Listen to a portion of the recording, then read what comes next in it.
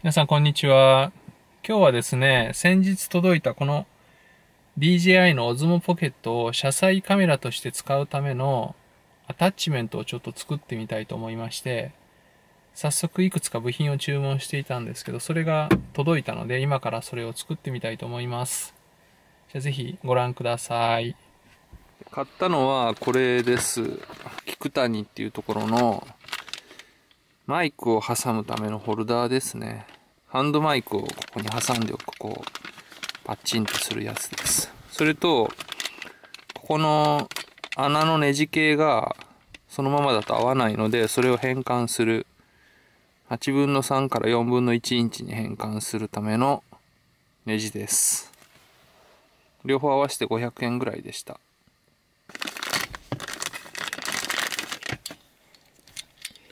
こんな感じのものです。これちょうどオズモポケット挟めるんじゃないかと思うんですけど、こんな感じで、あ、ちょっと緩い。あ、向向き完璧じゃないですか。かなり安定してます。落ちたら壊れますからね。これ落ちないですね。で、これね、8分の3と4分の1の変換ネジ。白馬、180円ぐらいでしたね。これを、ここに、ねじ込みます。で、これでまあ普通の三脚にもつけれるようになるんですけど、車載なので GoPro のアタッチメントを使います。えっ、と、これ、これかな？これ。これです。あの、GoPro のアタッチメントと普通の三脚用の4分の1インチのネジを合わせるっていうか、まあこんなものです。これをここに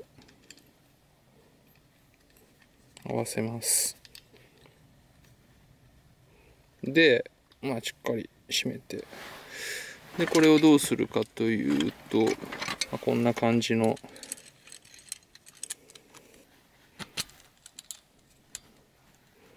こうすればちょっと大きいですけど車載 要はアタッチメント完成です逆の方がいいかな、これ。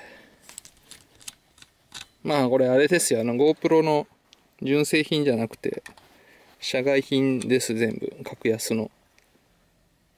セットで2、3000円で売ってるやつです。全然大丈夫ですね。こんな感じでできました。じゃあこれを車にじゃあどうやってつけるかっていうと、こういう両面テープがついたアタッチメントがあるんで、これを車につけます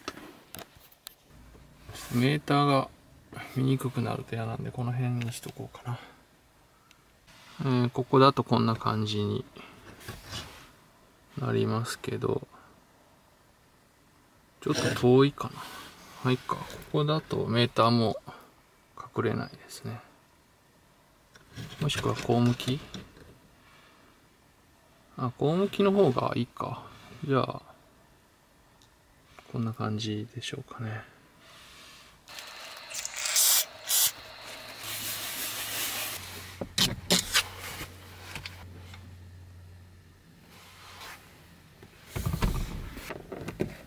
かりつけないとね、カメラごと落ちたら悲しいですからね。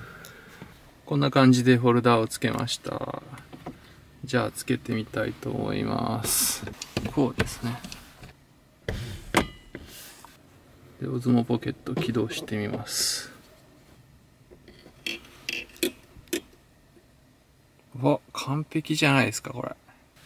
どうですか、これ。なかなか良くないですか？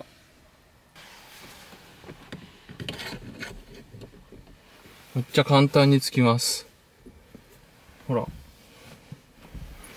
取り付け取り外し超ワンタッチ。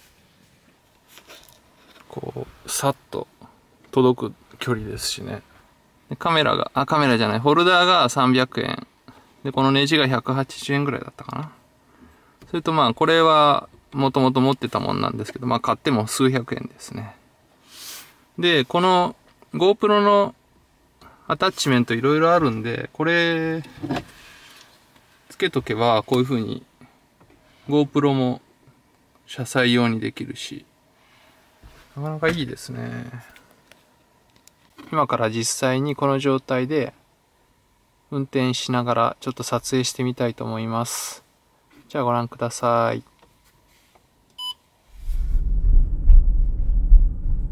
結構道ガタガタしてるんですけど、どうですかね？綺麗に撮れてますかね？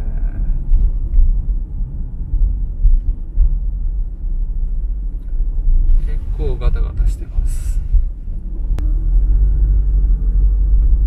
ここからかなり急な坂を登ります。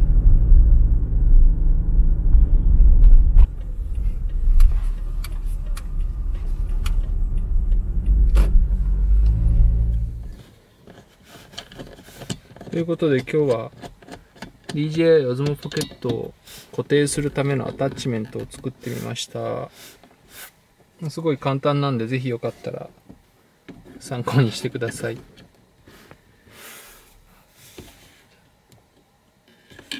今回の動画気に入っていただけた方はぜひいいねボタンと、チャンネル登録がまだの方はぜひチャンネル登録もよろしくお願いします。